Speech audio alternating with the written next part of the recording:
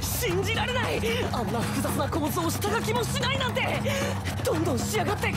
しかも背景まで一緒に書き込んでいるぞ。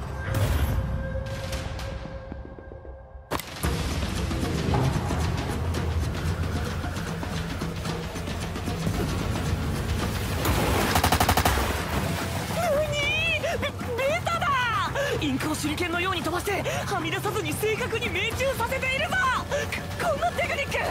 ているぞこんなテクニックベタって筆の手作業で塗ってたんじゃないの